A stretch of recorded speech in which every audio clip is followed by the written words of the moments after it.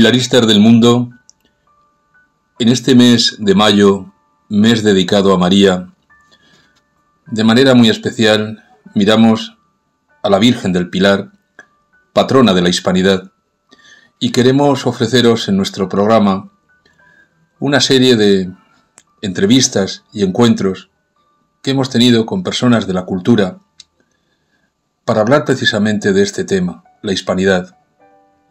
Nuestra primera protagonista, Almudena de Maeztu. Esperamos que estas entrevistas, que estos encuentros en familia, en nuestro canal, os sirvan para profundizar más en vuestra fe a la Virgen del Pilar de Zaragoza, patrona de la, de la hispanidad. Esperamos que os gusten y que aumenten vosotros la devoción. Muchas gracias. Buenos días, pilaristas por el mundo. Una vez más con vosotros. Y hoy de una forma muy especial, en este mes de mayo, aquí en la Plaza del Pilar de Zaragoza, Nuestra Señora, la Virgen Reina de la Hispanidad. Y precisamente de ese tema de la Hispanidad y la Virgen del Pilar queremos hablaros de manera muy determinante en estos días. Para ello vamos a tener intelectuales de gran categoría nacional e internacional. Os quiero presentar hoy a una mujer de excepción, como me gusta decir a mí, una mujer de raza, nada más y nada menos que Almudena de Maeztu, nieta del gran Ramiro de Maeztu, miembro de la generación del 98, uno de los grandes intelectuales humanistas, un gran hispanista, que escribió en defensa de la hispanidad. Y es que no lo olvidéis nunca.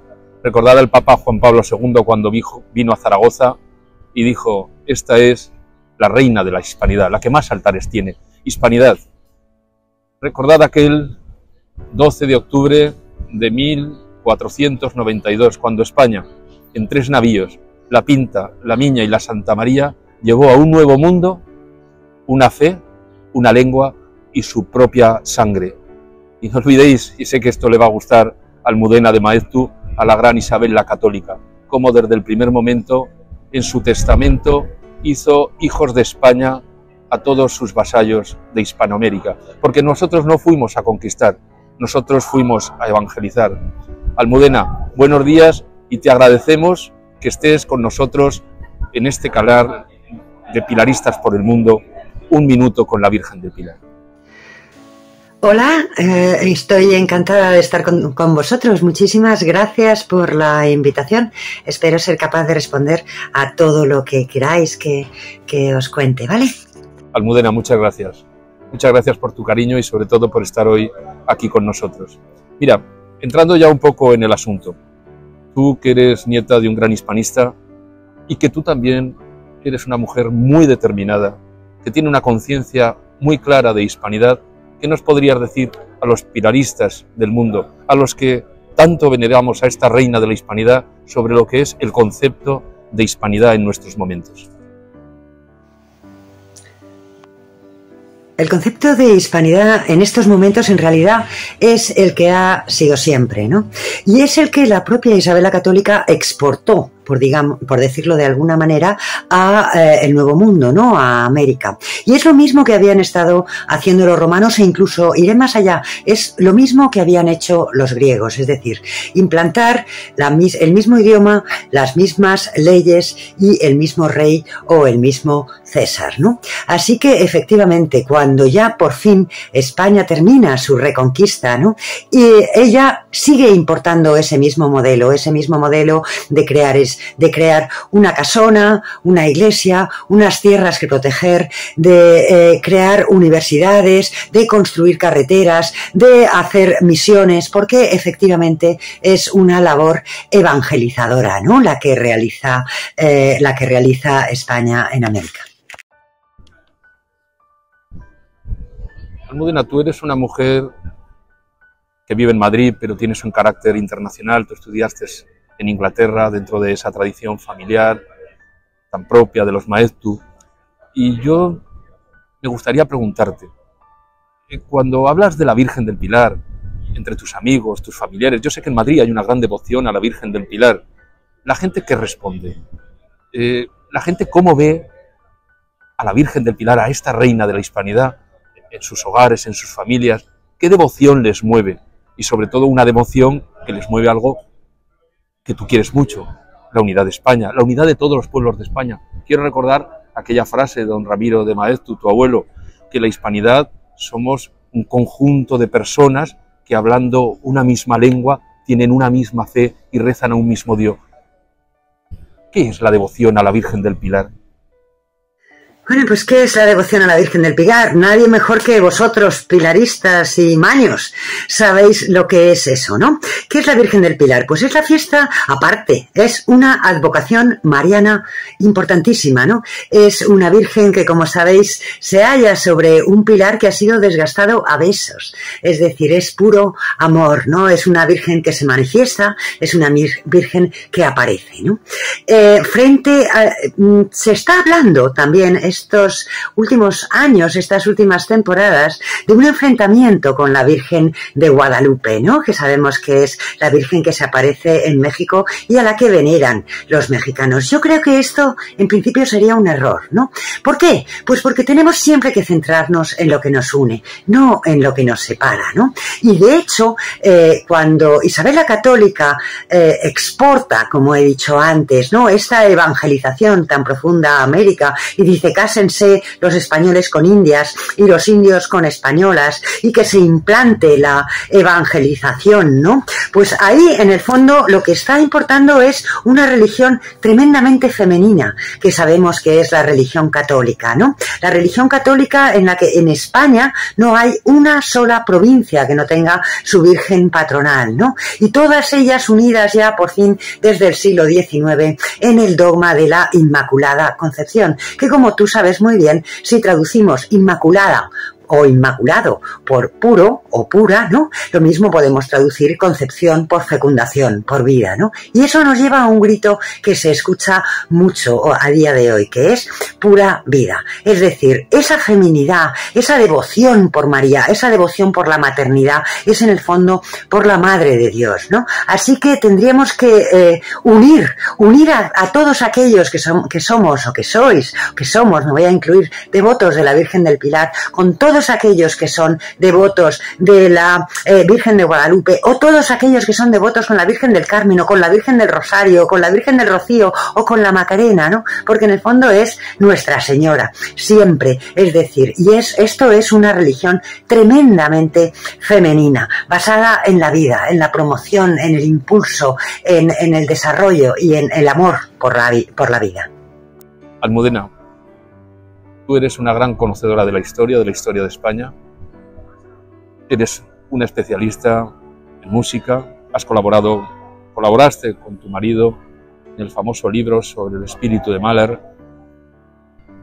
¿Tú quién crees o a quién podríamos considerar como pensadores a los que han sido los propulsores, los pioneros, pioneros de esta idea de hispanidad? Sabemos que en España Ángel Ganivet, con el que tenía gran amistad tu abuelo, también eh, García Morente y tantos otros que han hablado de este sentido de unidad, de fraternidad entre pueblos hermanos, como lo son los pueblos de España y Sudamérica.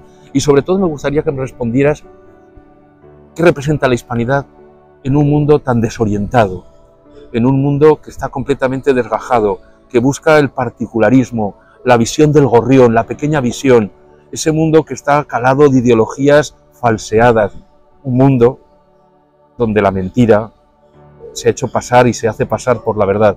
¿Qué podemos aportar los hispanistas, enamorados de nuestra hispanidad, de esta gran razón de ser? Y por supuesto, ¿cómo debemos de mirar los pilaristas del mundo que nos escuchan en todos los rincones del nuevo continente a la Virgen del Pilar de Zaragoza, reina de la hispanidad?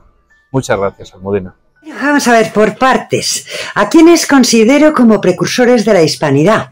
Pues como he dicho antes, y considero que la hispanidad, que tiene nombre femenino, eh, va en femenino, pues está capitaneada, como no podía ser de otra manera, por una mujer que es Isabel la Católica, ¿no? Como, no va a ser después. Bueno, tú has hablado de contemporáneos de mi abuelo Ramiro, de, de Ángel Ganivet, de García Morente. A mí me gustaría incidir en dos precedentes muy importantes, ¿no? Que son Julián Juderías, ¿vale? Por un lado, y por otro lado en eh, Pereira, ¿no? Que escribió un libro muy interesante en el siglo XX, a principios del siglo XX, que es, eh, no, finales del XIX, que se llamaba La obra de España en América. Por supuesto, está mi abuelo, ¿no? Ramiro de Maeztu. Y ahora, en estos años, pues eh, desde luego me gustaría incidir en la persona que ha impulsado todo este movimiento con sus dos libros estupendísimos, que, son, que es Elvira Rocabarea, ¿no? Y Imperiofobia, y eh, el siguiente eh, libro que es Fracasología, ¿no? Que están haciendo también un enorme bien por eh, el desarrollo de la hispanidad. dicho esto, ¿qué significa hispanidad a día de hoy? Pues es lo mismo que significaba también hace tantísimos años, ¿no? Somos gente, somos personas, 500 millones de personas, que tenemos el mismo idioma y tenemos la misma religión, ¿no? Eso que implica. La religión se ha transformado ya en cultura. Podrá haber gente que crean más o que crean menos, pero seguimos llamándonos Luis, Felipe, Pablo, Pedro, Almudena, María, seguimos eh, hablando el mismo idioma, seguimos comiendo cerdo, seguimos bebiendo vino, seguimos pensando que hombres y mujeres tienen los mismos derechos, seguimos celebrando la Navidad, seguimos celebrando la Semana Santa, ¿no? Así que todas esas son cosas que ahora mismo es muy, muy, muy importante que las defendamos, que las mantengamos y que las protejamos, ¿no? Almudena, una mujer tan preocupada por el momento actual, por la sociedad de nuestro tiempo, una hispanista de pro, como tú eres, me consta, por tus amistades, por cómo colaboras con todo aquello que tiene que ver con el mundo de la hispanidad, con España, con el mundo de la Virgen del Pilar de Zaragoza. Yo te preguntaría, ¿qué proyectos tienes? ¿Qué proyectos intelectuales? ¿Qué proyectos sociales? ¿Hacia dónde diriges tus pasos en estos momentos? Bueno, pues eh, eh, como sabes, Fernando, yo soy historiador, historiadora y soy anticuaria, ¿no? Eh, y luego también, claro, he publicado también una serie de libros, llevo escribiendo bastante tiempo, publiqué con José Luis El Mahler, luego escribí mi propio libro sobre Alma Mahler y después publiqué un blog que había estado haciendo durante todo el año 2013 que se llama Amor en la Mesa, ¿no? Ah, también he colaborado con prensa, en televisión y radio. Pero bueno, voy a tu pregunta me preguntas que cuáles son mis proyectos. Mis proyectos ahora mismo, uno para mí es muy importante y es seguir haciendo lo que hago, es decir, defender la verdad, la bondad, y la belleza. Eso es fundamental en este mundo tan raro que estamos teniendo, donde todo está tan diluido, donde eh, ya la gente no diferencia lo bueno de lo malo, lo verdadero de lo falso, lo bonito de lo feo, la luz de la oscuridad, ¿no? Así que en este contexto, defender la verdad, la bondad y la belleza me parece que sería un muy buen principio para todos. Proyectos editoriales, me dices, verás, pues el otro, vamos, eh, hace un tiempo, haciendo limpieza y ordenando la biblioteca de casa, di con un pequeño cuaderno que tengo aquí, Mira, te lo voy a enseñar, este cuaderno, ¿vale? Y este cuaderno es un cuaderno de anillas, de estos de los años, eh, siglos del siglo pasado, ¿no? Que se hacían. Y es un trabajo que escribió mi marido, José Luis Pérez de Arteaga, para los jesuitas cuando tenía él 17 años, ¿no? Eh, y es un trabajo, un ensayo precioso que se llama... Almudena, gracias por todo. Me gustaría que estuvieras aquí tomando un café con nosotros en esta plaza maravillosa. Estás invitada a Zaragoza, ¿eh? Aquí tendrás unos buenos anfitriones. ¿Qué les dirías ahora a todos los pilaristas del mundo que cada día son más y más sobre la Virgen del Pilar, sobre la hispanidad. Dicho todo esto, pues eh, muchísimas gracias por la invitación. Espero que esto haya servido para aclarar alguna que otra duda y sobre todo para pensar en todo lo que tenemos que hacer todo lo que nos queda, que en, realidad tampoco es tan complicado, ¿no? Lo único que tenemos que hacer es resistir, no es momento de atacar, es momento de defenderse, es momento de, preservar, es momento de proteger, es momento de realzar todo aquello que nos une, ¿no? Así que tenemos mucho que hacer por delante. Espero que todos seamos capaces de, en la medida que, de, de nuestras posibilidades, de hacerlo posible. Un abrazo a todos.